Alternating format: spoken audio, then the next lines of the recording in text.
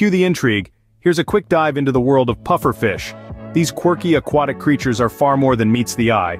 Unassuming yet deadly, they are the second most poisonous vertebrate on the planet.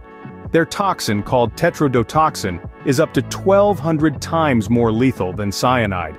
Yet despite their deadly nature, they're a delicacy in some cultures. In Japan, chefs train for years to safely prepare pufferfish, or fugu, for consumption. Here's a brain tickler. How does the pufferfish puff up? It's not air but water they gulp in.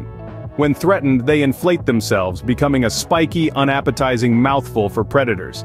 A minute of mystery, a lifetime of wonder. Remember the world is full of fascinating facts waiting to be discovered. Stay curious.